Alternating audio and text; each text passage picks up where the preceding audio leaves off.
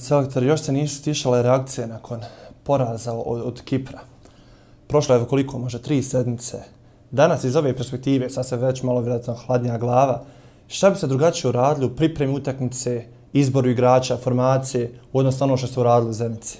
Ne vjerujem da bi nešto promijenio.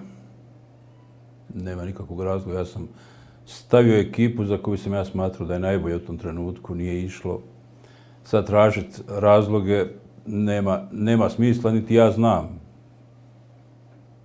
Svi oni koji, koji su igrali, trebali su daleko više da pruže, podbacila je kompletna ekipa i, i desilo se nama ono što se i drugima desilo. Kao što se desilo i Portugal da izgubi od Albanije. Ovo je prvi put da mi, kako sam ja selektor, izgubimo jedne, kako da kažem, manje reprezentacije. Mi smo te utakmice ranije rešavali na vrlo lagan način i vrlo, vrlo brzo, ako se sjećate utakmica protiv Liteštajna, protiv e, Luksemburga, Latvije, Litvanije, znam jedino da su igrači bili izuzetno motivisani, da su htjeli da dobijemo utakmicu, da nisu ni u jednom trenutku podcijenili protivnika. I ja sam isto to, to, tako upozoravao. Sjetite se posle utakmice u Tuzdi gdje smo mi Lihteštajna dobili 3-0, a igrali smo u stvari samo prvi možda 20 minuta. Upozoravao sam da, da, da ukoliko budemo tako igrali, da ćemo se namučiti protiv Kipra da nećemo pobijeti i to se i desilo. Da. međutim, bili ste suočeni sa velikim brojem kritičara s obzirom na formaciju izbor nekih igrača. Čak su igrači poslije neki govorili. Jedan igrač je e, rekao nešto koje nije trebao da kaže, jer neko kad, kad kritikuje druge treba prvo od sebe da krene. Pa da se sjeti svi utakmica koje je igrao u zadnje vrijeme i da sjeti koje su to utakmice bile dobre, e, koje su, koje su loše. Ja, što se tiče formacije, ne vjerujem da sam negdje pogrešio.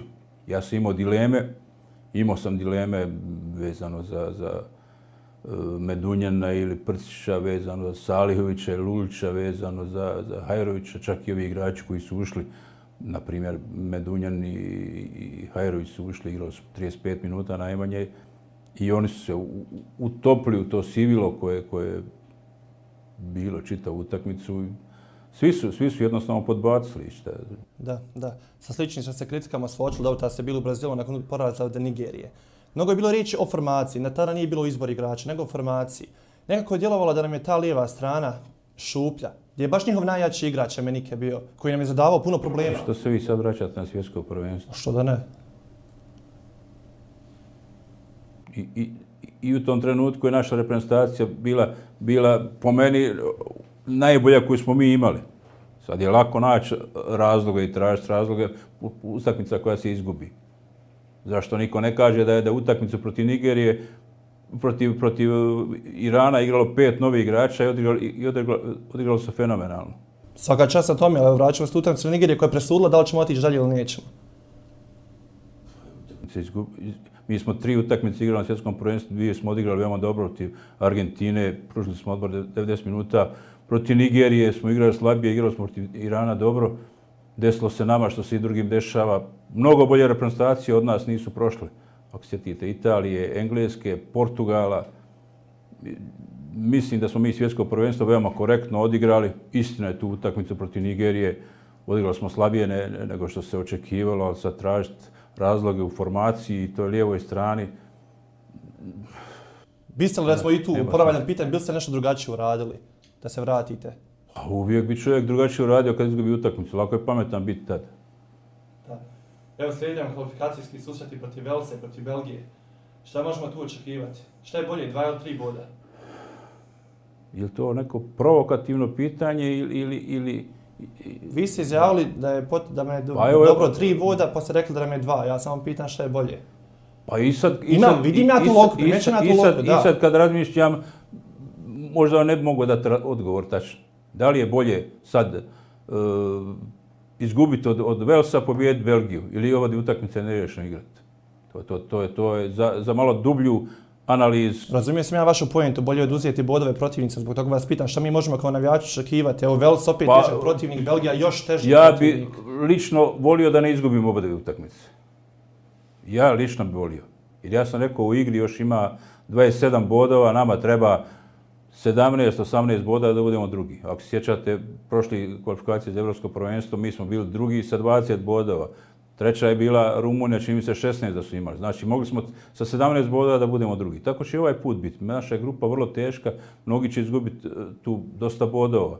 Ja sam ubijeđen 17-18 bodova će biti sasvim dovoljno za, za, za to drugo mjesto. Da, odlučili se nakon utakmice biti Kipra da vratite reprezentaciju Emira Spahića, da ga nagovorite da se vrati u reprezentaciju. Koliko vam znači naš odbrani, koliko će pripomoći tom i ovim mlađim igračima? Znači, znači puno igrač koji je 10 godina, praktično 10 godina, ne znam koliko, 7-8 kapitije nove reprezentacije, jedan od najboljih igrača, jedan od najboljih igrača na, na, na tom mjestu, možda i u Evropi. E, sigurno će puno značiti, jer ja sam vidio ne samo u utakmici, ja sam vidio i na, na, na priprama i prvoj utakmici u Tuzli i, na svim ovim trenizima da, da je to za nas veliki hendikep, hendikep njegovo neigranje. I htio sam odmah da ga zovem, bolje da, da, da, da to uradim odmah nego da, da kad bude kasno. Da, kako je on reagovao na taj potez? Je li bilo pa razmišljao, imali odmah? Pa, bio je iznenađen, ali istina isto tako da da sam ja ostao s njim u kontaktu. On je dan prije utakmice mene zvao, poželio sreću. Uh, ja sam sutra da njega zvao, ali u ostalom mi smo se dogovorili uh, kad je on odlučio da, da, da završi tu reprezentativnu karijeru, da ukoliko, ukoliko bude potrebno ću ga ja zvati. I tako i bilo. Da, evo rekao se, se komunicirali, sa njim uvijek ima dobičaj taj komunicija sa kapetenom, je li tako i ostalo i dalje? Tako ostalo i dalje, sigurno. Da. Ja da. sa Džekom čujem isto tako s vremena na vrijeme. Da, da. I normalno je svaka, svaka don, odluka koja se donosi, ukoliko treba nekad nekoga da, da konsultujem ja, to je kapiten i još eventualno dva, tri igrača. Da. Mnogo se u posljednjim mjesecima, čak možda i godinama, govorilo o tu atmosferu reprezentacije. Ja nisam novinar koji imate neke insajdere pa da prenosim te informacije. Zaista nisam upoznat što tiče te atmosfere reprezentacije. Mnogo se govorilo o tim nekim klanovima, sujetama, povrijeđenim igra, sujetama igrača, a, a, pritiscima na vas. Je li ima istine, dijela istine u tim pričama? Istina, atmosfera u reprezentaciji je uvijek dobra bila. Nikad nije neki veliki problema i incidenata bilo. Kad vidiš ponekad što se dešava u drugim reprezentacijama, kod nas ništa se nije dešavalo vrlo često su dolazile informacije e, da se nešto dešava u Brazilu, da je bilo do tuče, da je bilo nesporazum, da je bilo do incidenata. Te informacije dolazile iz Sarajeva, nije dolazile iz Brazila. Nije... Kome je odgovaralo da plasira te informacije? Kud ja znam, vašim kolegama, vjerovatno, koji, koji su ovdje. Koji bi njima bio interes u cijeloj toj priči? Svi ovi koji su bili u Brazilu, možete da ih pitate da li se nešto desilo. E, uglavnom, ja nisam nikad imao bio u situaciji da zbog nekog incidenta i zbog uh, nekog nesporazuma da nekog vratim uh, ili otjeram. Još mi se nije desilo nijedno za četiri po godine da nekoga s treninga, ja na primjer, uh, da mu kažem da ide s treninga. A pogotovo da, negdje na pripremama kad smo i u Brazilu, zaista ništa se nije dešavalo. Da. Grad su bili ljuti na medije koji su bili u Brazilu. Određeni se nisu davali izjave. Gdje je puklo u, odnos, u tim odnosima reprezentacija, mediji? Ne vjerujem ja da je puklo negdje. Igrači, igrači uvijek izađu u susret. Evo, da. Emir Smahić odbio dati izjavu za BHT. Nisam razumio. Emir Smahić odbio jednom prilikom dati izjavu za BHT i ostali igrači su ga podržali. Ja, ja nisam uh, taj koji može primorati igrača da je izjave. U našoj reprezentaciji ima jedan, dva igrača koji su izbjegavali da izjave za novine. Pitajte njih koji su razlozi. Međutim, ja znam da većina igrača uvijek je na raspolaganju novinarima. Ja sam uvijek na raspolaganju novinara, novinarima. Pitajte da li sam nekad odbio neki, neki intervju.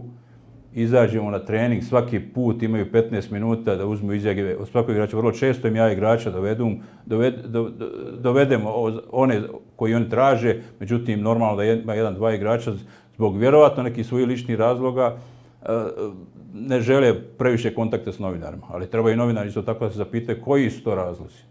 Da. A ne samo optuživati igrače zbog, zbog toga. Je. Da, ne ulazim u to zaista jer sad da nismo suočeni sa takvim problemom. Ne znam ni ja, ne, ja ne znam koji da, su problemi, da, ali, ali znam da su igrači pojedini žalili s vremena na vreme na e, nekorektno pisanje ili... Bili ste suočeni sa kritikama vezano za sve na Tina Sušića.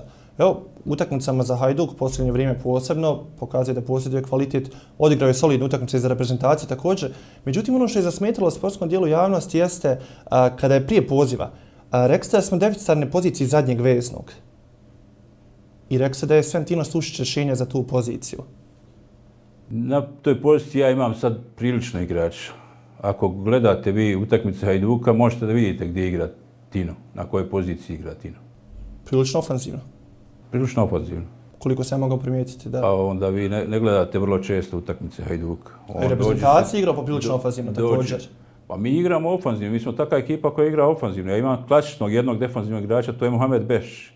I meni, pored, to, meni, meni je to dovoljno, ali ima isto pored njega igrača koji, koji, koji učestvuju u defanzivnim tim zadacima. Mi smo ekipa, sjetite se kvalifikacije, kad sjetite se zadnjih utakmica o kvalifikacijama. Mi smo igrali bez jednog defanzivnog vezne igrača. Igrao je Pjanić, igrao je Misimović, igrao je Medunjanin i četvrti ne mogu, ne mogu više da se sjetim ko je igrao. Znači, sad, bez defanzivnog, ni igrao ni Rahimić, ni igrao ni, ni kako se zove, Zahirović. I, i tako sam se kvalifikovao svjetsko prvenstvo. Ja jednostavno želim ekipi da imam kreatore prije svega, igrače koji će imati stajno. Evo uzmite, uzmite velike ekipe. Evo uzmite Barcelonu. Ko je kod njih defanzivni vezni igrač? Izuzev, šta ja znam... Ne znam, Busquets možda ima malo nešto defanzivnije uloge. Busquets jedine, ali nije ni on klasični defanzivni igrač. I on je igrač više kreator koji, od koga akcije počinju. Vrlo, vrlo... Da, to Barcelona dok nađe nekim posljedom lopite. I... Pa dobro, ja želim isto tako da imam ekipu koja će da igra, koja će biti u, stalno u, u, kontaktu s loptom. Ja želim da imam uvijek loptu više nego protivnik. I zbog toga bi se desi da, da kod mene defanzivni vezni igrači ovaj, trpe to. Međutim, ja tako gledam futbal i To je apsolutno vaše pravo, naravno.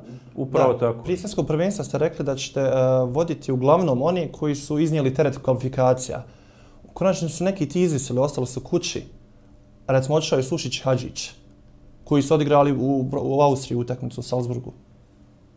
Ja nisam poveo igrače oni koji nisu igrali u svojim klubovima. Meni je žao jednog Stevanovića, koji je u jednom trenutku bio naš jedan od najboljih igrača, ustalio se ekipu, otišao je na stranstvo i nije igrao.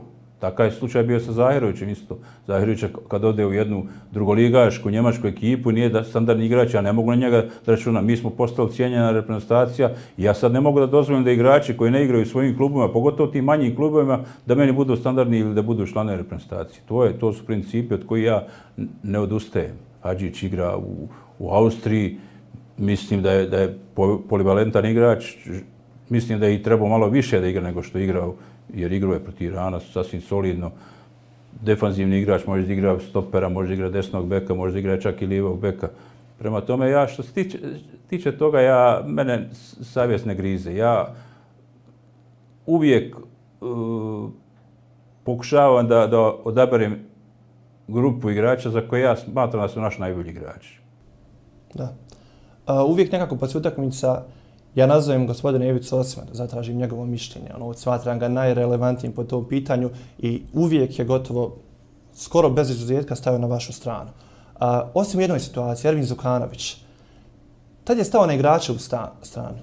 Slušajte, uh, zašto vi ne odete u, u, u, u, u Veronu pa napravite intervju sa Zukanovićem, pa ga ne pitate zašto u, u četiri utakmice od kako je počelo prvenstvo talijansko, jedno je samo odigrao, a tri sjedio na klupi. Pa ćete onda... A u pripremljenim igrao otprilike 60 minuta Molim... u prosjeku. U pripremljenim utakmicama igrao 60 minuta. Mene ne interesuje pripremljene utakmice. Mene interesuje, interesuje prvenstvo. Svaki onaj, rekao sam, svaki onaj koji igra u svom klubu, koji je standardni, koji igra dobro, ima, ima šanse da se, da, da se nađe kod mene na spisku. I oni koji ne igraju treba da, da od sebe krenu. Da, a Vranješ s druge strane se nije nešto i on naigrao, a našao je mjesto svoje. Vranješ je igrač koji ima 24-25 godina, igrao je dosta utakmica u kvalifikacijama. ima dosta igrača koji sam ja, kojima sam ja pomogao na takav način. I kada je bio Haris Medunjan, kad nije imao kluba, ja sam ga stavljao, dolazio da nije igrao, ali je dolazio, bio je, bio je ovaj član reprezentacije. Igrače na, za koje ja smatram da će trebati ove reprezentacije, a moram na neki način da ih pomogne. Evo, Vranjić je otišao sad u, u, u Češku, u našoj klub, samo još nije počeo da igra, prema tome dok ne pođe na igra, neće ni kod mene imati uh, velike šanse da bude standardni igrač. Onog trenutka kad se ustali u ekipi, može očekivati da, da, da igra i kod mene. Da. Vraćamo se na taj Brazil iz Zukanovića. Zukanović... E, Jesu li igrači zaista bili razočarani njegovim izjavama što je rekao da je optužio stvar neke strukture u Savez, zašto on nije dobio vizu? Ba, jedini e, koji zna zašto nije dobio vizu je on. Ja znam da sam ja insistirao, znam da je Savez sa svoje strane sve uradio da on dobije vizu, zašto je dobio, zašto je nije dobio, ja to, ja, ja to ne znam. Da nakon što se Misimović oprostio reprezentacije, dio sportske javnosti je smatrao da neki njegov legitimni nasljednik, da ga tako nazovim, jeste Semir Štilić. Ili računate vi na njega? U ovom trenutku ne smatram da mi je potreban, prema tome ja računam na one igrače koji su pozvani za ove sljedeće dvije utakmice. Da, to je vaše apsolutno pravo, ja se ne miješam u to, jer postoji neki određeni razlozi. Postoji razlog, razlozi, on je bio kod mene jednog godinu dana, bio je član reprezentacije, čak sjećam, malo je ulazio neke utakmice, pogotovo sjećam utakmice protiv Bjelorusije gdje smo imali igrača više, kad sam njega ubacio u 20. minutu, a Misimović je ostao na klupi, tu je vjerovatno propustio svoju šansu da, da se ustali malo, malo Koje poziciji tada igra kada ušao? I, igrao, igrao na poziciji na kojoj igra uvijek. Znači, ušao je, ušao je igrao na, na poziciji gdje, gdje igra ofanzivnog, ofanzivnog lijevog igrača. Da, on je više malo pred sredine, dobro, nije u suštini, to je vaše. A, nedavno je bila najavljena sjednica izvršnog odbora, puno se talasalo prije same sjednice, najavljivale se neke krupne promjene, velike stvari, čak se ono, neki između redova se moglo pročitati da se čak po navodnicama prijeti vama. Konačnici ništa sa suštini, nije desilo sam dobro sve podršku. Jedan igrač je slabo igrao u ekipi, onda ga trener skloni. Pa ako igra duže vrijeme slabo, onda, onda, onda, onda mu preporuči da traži novi klub. Kod selektera je slična situacija. Nema dobri rezultata. Ili ga smijene ili čovjek dadne ostavku. Prema tome, to je, to je zakon u sportu. Kad nemaš dobre rezultate, treba da se pomiriš da jednog dana ili ćeš biti smijenjen ili ćeš morat sam da to ostavku. Ja ne bježim od toga, ali nemojte misliti da, da ima nečega strah. Da, Dobro, jeste se u tom trenutku malo zabrinuo za svoju poziciju? Nisam se zabrinuo. Ne brinem se ja uopšte za, za svoju poziciju. O čemu je bilo riječ uopšte na tom sastanku? Pa prije svega, vjerovatno malo panika zbog, zbog poraza, što je, što je razumljivo.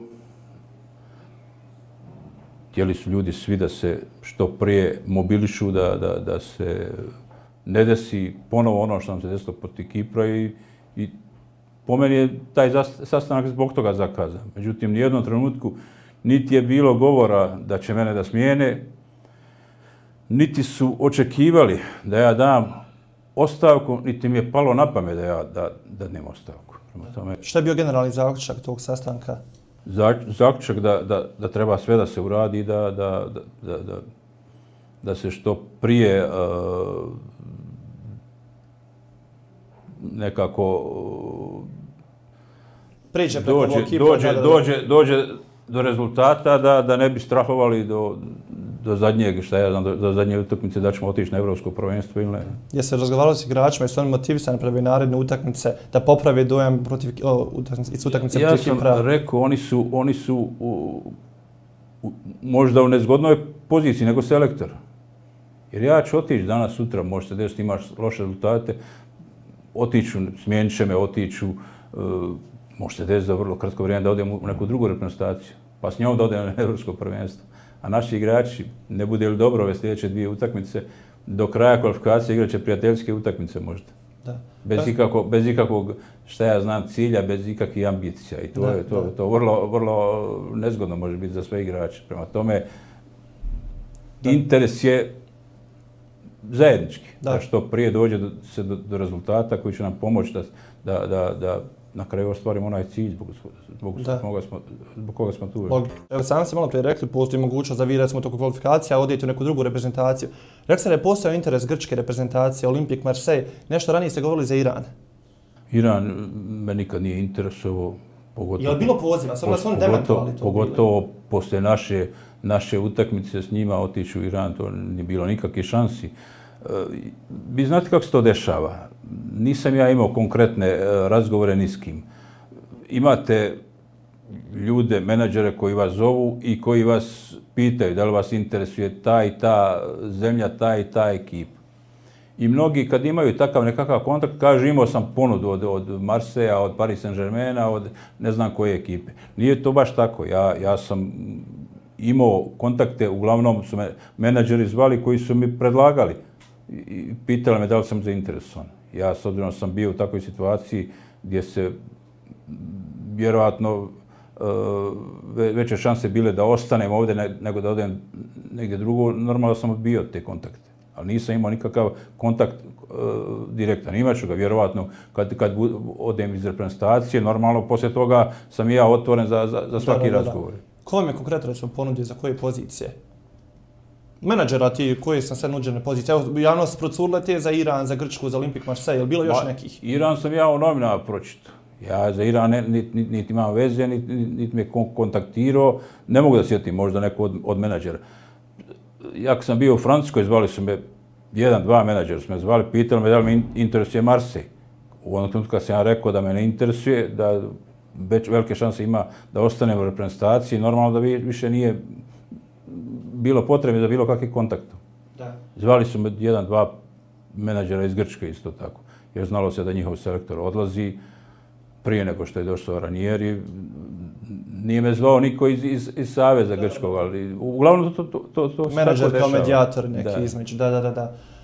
Bili ste ljuti i vi članovi izvršnog odbora nakon što je procurila medije i informacija vezana za vaša primanja u, u Savez na mjestu selektora? Što je to tajna uvijek kod nas? Evo ne znam zašto kod nas javno zna koliko prima engleski selektor, grčki, karikiran, sve, sve, francuski. su to, sve, su to, sve su to nagađanje. Sve su to nagađanje. Ne vjerujem ja da jedan selektor iznese svoje primanje. Zašto bi iznosio? Ja sam samo rekao da, da, da, da, da sam ja četiri godine bio, četiri i pol godine najslabije plaćeni selektor u svijetu možda. I normalno da u jednom trenutku nisam ni ja mogao više to da izdržim. Tražio se da bude jedan korektan ugovor koji je u granicama ovog što, što, što zarađuju ljudi u, u, u našem regionu, što ja, ne, ne, računajući u Srbiji gdje, koji, gdje selektor zarađuje 10 puta više nego, nego ja što bi trebao zarađivati. I, i normalno te, te stvari nisu trebale da, da izađu u javnost. Ali istina isto tako da, da, da nema veze s istinom to. Znači nisu tačno ove cifre, 50.000 mjesečno, plus 25.000 dio sponsorskih ugovora, premije 5.000 des- za remi i 10.000 za Odakle pobjedu. nam ta informacija? U medijima. Je, pa, pa pitajte ko, ko, vam je, ko, ko vam je dao te informacije. Ja Što ne tražite ko je dao te Pa evo informacije. ja hoću vas da pitam ko je dao. Vi ste rekli da sunete na nekoga. Ja ne znam, meni niko nije dao. Ja pročitao u medijima. Ja, ja vam kažem da, da e, moj ugovor može sutra da bude prekinut. Da, Sutra. sa tim sam upoznat, da. Sam sutra, prema tome cifra kad se spominjala od nekakav milion eura koji je, koji je šokirao javnost kad se napisalo da, da selektori ako ne ode u, u, u, u Francusku može milion eura da zaradite, znači nema nikakve veze s, s, s istinom. Jer moj ugovor traži, važi do, do onog trenutka dok se postoje šanse. Ne? Čak može i ranije biti. Kad neko smatra da su šanse ugrožene da ode na evropsko prvenstvo, može da ga prekine. Može sutra da ga ne prekine neko. Prema tome, to, to, Ok, to se demantovalo, naravno, to više, to nije čisto, ali evo ko otkrio ove informacije vezano, ko je ta Pa, krtica, kako je nazvao ne, ne Hadžibegović? interesuje mene, to niš, nisam ja istraživao, niti nit, nit me interesuje. A jesu približene ove spekulacije ciframa koji su stvarnosti? Evo, ne morate govoriti konkretno ciframa, jesu Pa približne su, jesu približne. Da. Ali, ali, ali s druge strane treba, treba da znate da sam ja četiri i pol godine bio najslabije plaćeni selektor, da ja imam svoju porodicu, da ja živim u Francuskoj. Da, ne- pošto je to prošlo, koliko ste bili tad plaćeni, možemo znati? Molim, Pošto je to već prošlo, dakle, to je prošli ugovor, možemo znati koliko ste tad bili plaćeni? bio sam, zašto, zašto da vam ja govorim? Bio sam naj, najslabije plaćeni selektor u, u, u Pa evo Evropi. da znamo okvirno koliko, koji se to ciframa radi. zašto ja vas ne pitam kolika je vaša plata? Pa ja nisam na javnoj nekako funkciji, ja sam novinar privatni, privatnog medija. A što ne pitate, što ne zovnete kapela pa pitate kolika je njegova plata? Pa mislim da javnost u, u Rusiji zna kolika je njegova plata. Pa mislim da to u medijima, mislim da nije tajna. Pa jel šokira nekoga to? Pa ni šokira, nije uopšte pitanje to da ja neću vama reći da je previsoka primanja. Pa Samo ne znam, nije mjesto zašto je to Ja sam mislio tajna. da ćemo mi ovdje pričati o, o, o, o futbal. Pa pričamo o futbalu, kako ne pričamo. Pričate o, pričamo o, o, o primanjima. Dobro, hajde pričamo dalje. Malo prije ste rekli za tu klauzulu koja vama, dakle, omogućuje, dakle, čelnicima Saveza da raskinu ugovor ako ne budu zadovoljni. Rekli ste da niste znali za tu klauzulu. Pa Vas neko prevario u, to ili- U, u, u tom zadnjem ugovoru koji sam imao, prošlom ugovoru isto je, isto je stajalo i, i kad su mi rekli da je bilo tako isto, isto u prošlom ugovoru nisam htio ništa da mijenjam, mada je to klauzula koja, koja nije trebala stoji uopšte. Znači u trenutku kada neko osjeti da, da su ugrožene, ugrožene šanse da se ode na evropsko prvenstvo, da se ugovor može prekinuti. Znači već sad su ugrožene šanse. Znači može se ugovor prekinuti. Da. Mnogo su povezivali, vraća se ovo posljednje pitanje, odnosi se na te spekulacije vezana za odnose između menedžerske agencije Germanija i vas. Jeste vas pogađale te priče Koji Germanija? O kojem- čemu pričate vi? za spekulacije? Mislim, upoznat se sigurno. O, kom, o kojim Germaniji? O čemu? Menedžerskoj agenciji. Ko je ta, ko je ta menadžerska agencija? Saista ne znam, ja vas pitam. Spekulacije su prvi- vidje sam optuživali čujem. zbog Gdje toga. piše to? U različitim medijima bilo. Iznosili su. Kako se zove? Germanija. Da. Prvi put čujem ne postoji menadžer u, u, u svijetu, u Evropi, koji je meni kravat kupio. Kravatu, nek, nek, nek, nek, nek, nek, nek, se pojavi neko kaže, ja sam kravatu kupio, ja ću sutra odavde iz ovog biroda da odim. Da. Postoji možda neko koji mi je kafu platio, kao što ja platim kafu. Imam ja poznanika među menadžerima. Ali nađite neko koji je meni kravat kupio i onda možemo razgovarati o tome.